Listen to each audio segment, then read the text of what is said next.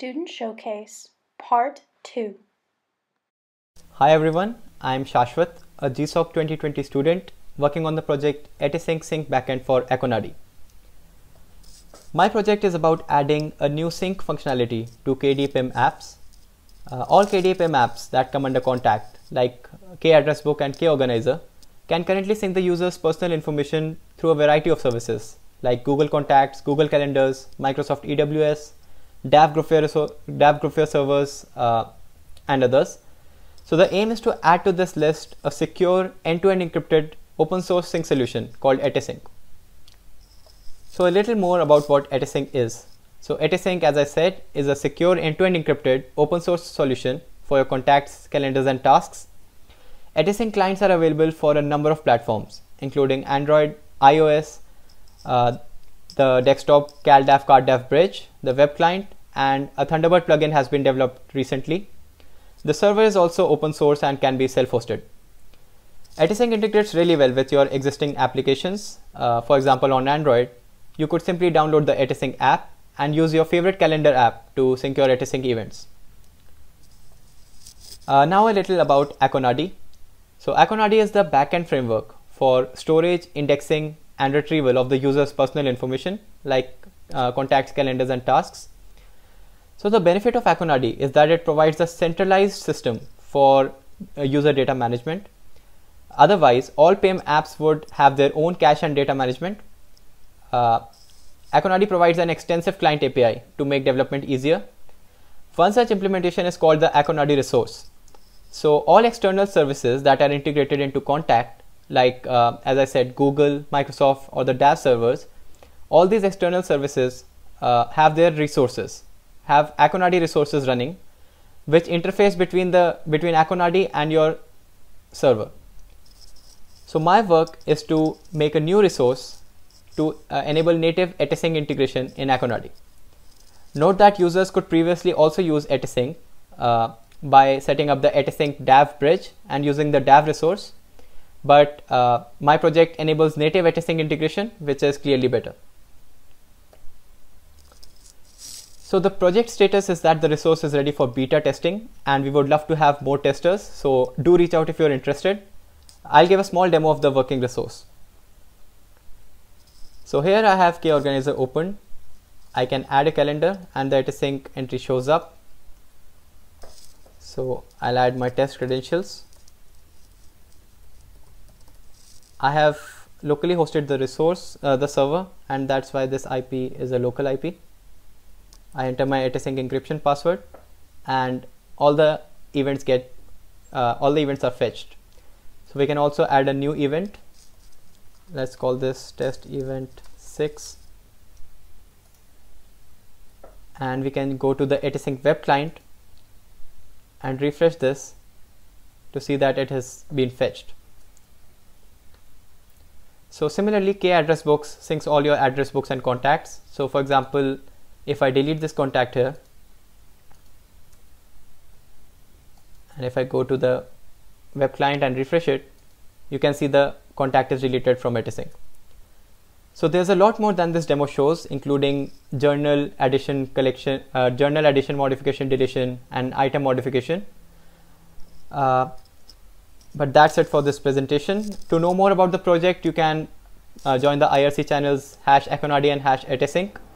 Uh, you can read more about the project and the status updates on my blog or the EteSync blog, or you could also contact me directly.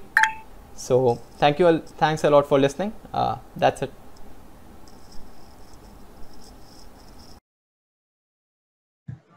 Hi, uh, I'm myself Shivam Balikondwar I worked uh, on adding file processing for ID during season of KDE uh, in year 2020 this summer.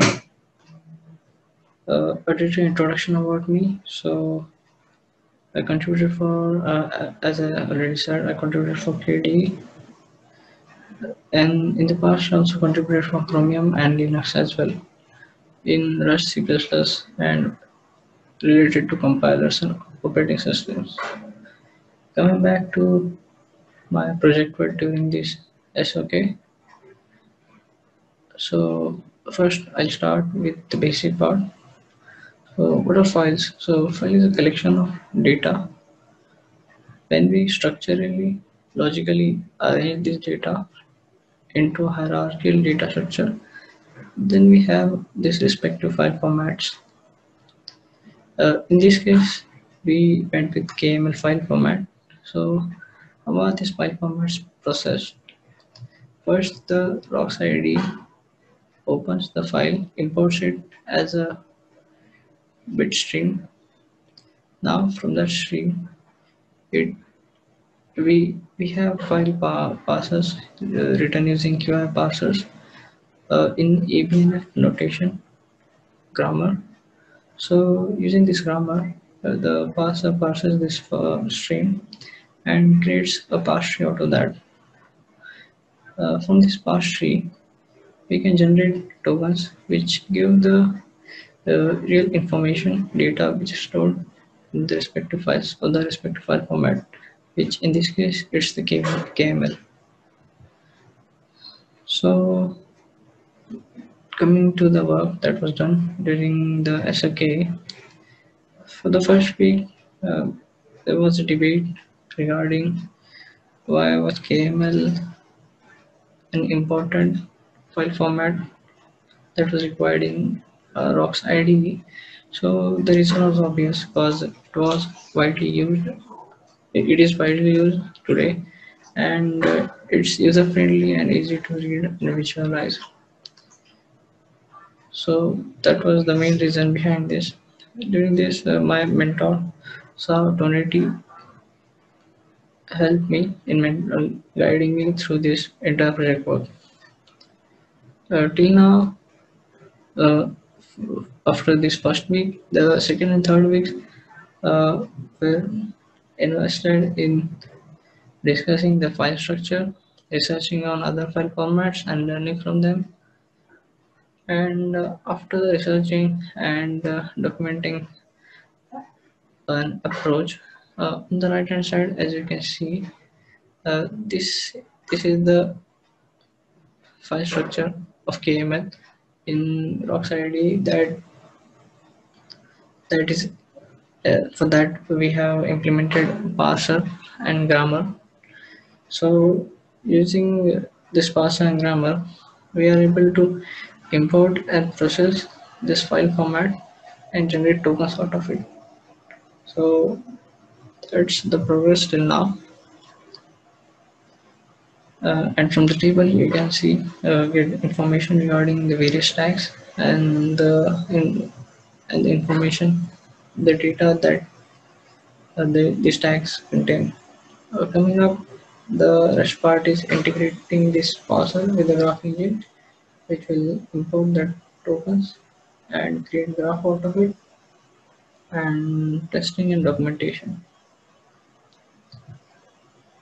Now uh, on the right side you can see I have this here screenshot of uh, what will be this KML file structure look like.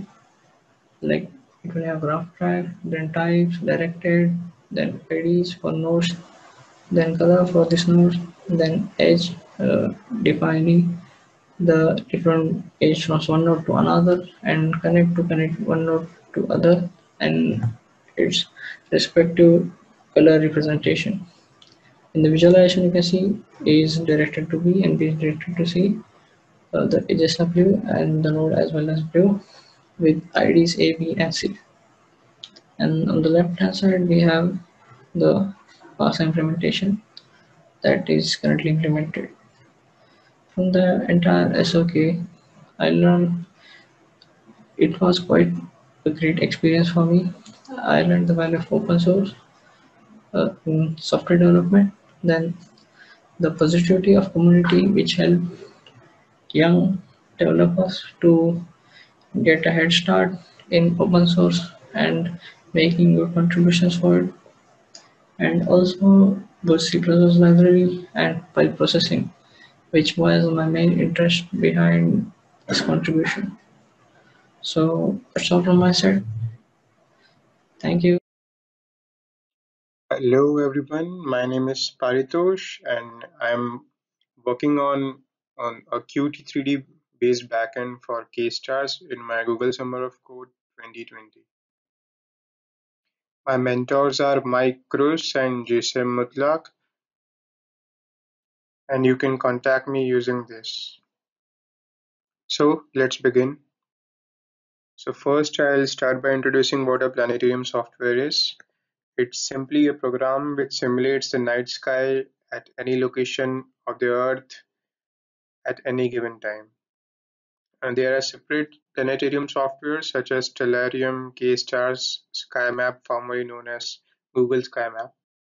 Now there are mo uh, mostly two parts to these planetarium softwares. The one part it focuses on getting the data of the positions of the object in 3D, uh, 3D or 2D coordinates. And the second part is the drawing part, which actually draws the sky objects from the data. Now softwares like Stellarium, they are capable of drawing in 3D. However, other softwares like KStars, they currently only use a 2D based backend. For 2D, we have a popular backend known as QPainter. And there was also work on an OpenGL version. Right now, what we aim in this project is to add a 3D backend and which will be based on a Qt 3D based framework. So this is a brief overview of how KStars actually draws the sky objects. As I said, there's a uh, there's a information bit or a data bit and a draw bit. So we have the information in KStars and we have a class known as SkyMap which is actually the widget on which everything is drawn. So SkyMap actually uh, can use either SkyMap QDraw or SkyMap GL Draw. And this QDraw, this actually is the QPainter based backend widget, and the GL Draw is the OpenGL based backend widget. Again, we have something known as uh, the SkyMap composite, and and this is where everything is drawn uh, this controls the draw calls for each sky object. And this sky object is just a base class for e each and everything. This includes planets and uh, comets moon everything. The individual cl classes of these have the uh, draw call which could either, either utilize uh, QPainter or OpenGL and this has been served using a common interface SkyPainter.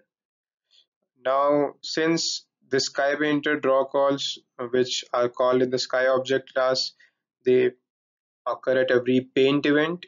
So we can't utilize Qt3D using this interface. We can't do this and the reason behind this is because Qt3D utilizes something known as scene graph as its drawing principle and which basically means you have to give all the information to Qt3D and it will handle the drawing.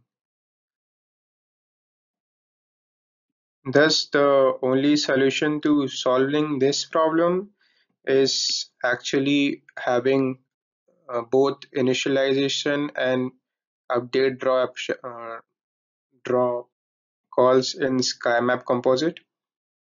And this means each and every sky object they needs to have these two calls. And the initialization call it will be utilized to use uh, to initialize the scene graph. And the update call will just use the transformation coordinates or anything related to projections or colors so this was what I suggested in the previous slide. We have a custom window which is derived from the Qt3D window and each sky object it has the option to actually modify the uh, Qt3D window which uh, the custom window we have used here and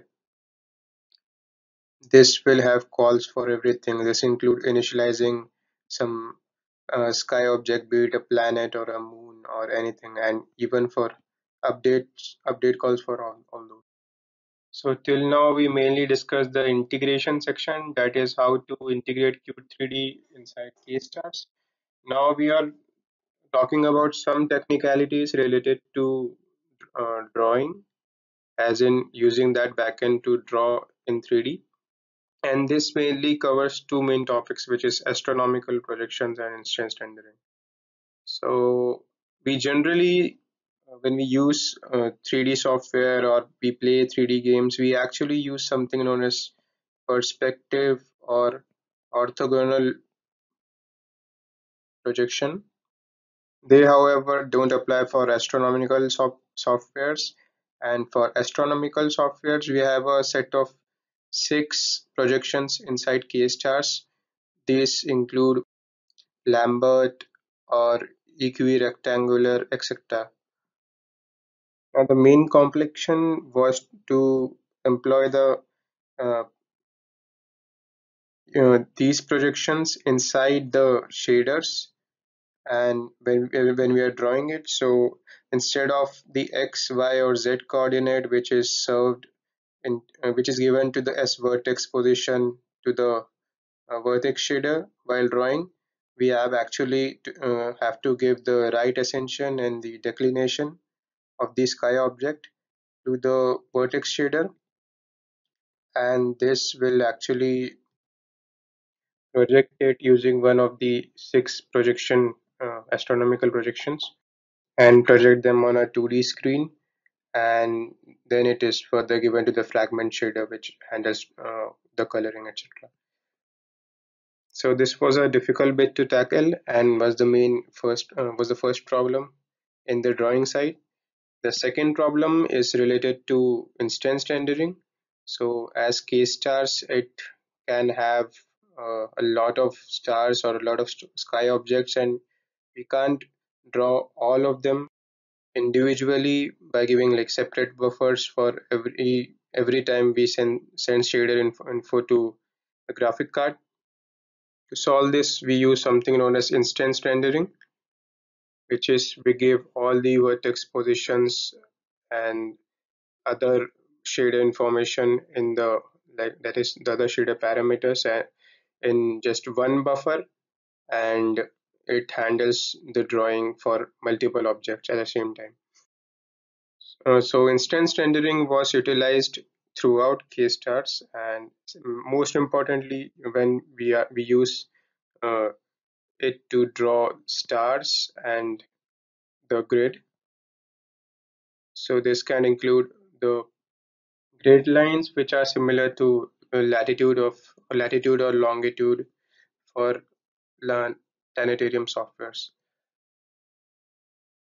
So for example, for rendering stars, we uh, actually just place the points at the given right ascension and declination uh, for that projection and then we pass in this happens in the vertex shader and then we pass it to a geometric shader which just summons a quadrilateral at that particular point and it has the texture for the star we want to draw and then it is passed to the fragment shader the results and as you can see we have our sun we have a few red lines we have a few stars and so some keyboard and mouse actions are, are working right now. This include this includes zooming and uh, panning and changing projections or turning off the particular sky object similarly we have more textures and we'll add more 3d models for the other sky objects as well so this was my work and thank you and you are free to ask any queries that you have.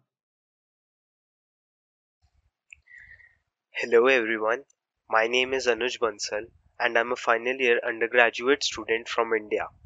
I have been working with the KDE Web team since December 2019 and I'm currently working on improving the web infrastructure for KDE as part of Google Summer of Code 2020. My GSOC project consists of two parts. As the first part of my project, I worked on porting KDE's main website, kde.org, to Hugo. The website is currently built using PHP. Now, the website for the most part is a static website. and the parts of it that are dynamic, like the applications page, have already been built as a subsite. So it doesn't make a lot of sense to use PHP for it. There's also a lot of problems like slow build times and the need for manual work. For example, the list of announcements on the website is built manually by adding each announcement to a list. This is where Hugo comes into play. Hugo is a static site generator based on Golang and provides great speed and flexibility. It solves many of the problems with the PHP site. It allows us to construct layouts which reduce the amount of duplicate code. For example, every announcement on only changes slightly from the other ones, so we can have a layout that has the dynamic part inserted into it. There are also Hugo shortcodes that are sort of like functions that provide some syntactic sugar. I can use the single line of code uh, to embed a YouTube video into a page and we can also create some custom shortcodes for some functionality. I'm happy to say that this part of my project is now complete and is now being tested after which it can be deployed. The second part of my project involves a complete revamp of the Season of KDE website. The website now looks much more modern and mobile friendly. The website now also uses the new OAuth based identity service that is currently being built by my mentor Carl. Some of the new functionality on the website includes a nice and easy to use admin panel, badges assigned to students and mentors, and the support for multiple mentors for a project. One of the most helpful new features I believe would be the new markdown support. The students can have much more detailed and nice looking proposals.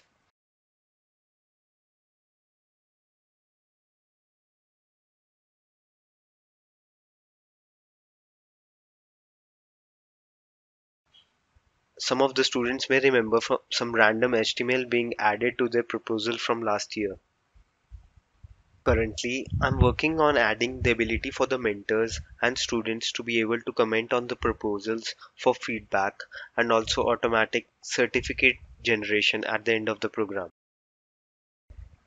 Finally, I would like to say that it has been a wonderful experience contributing to the KDE community. That's all from me. Thank you so much for listening to me. Have a wonderful day.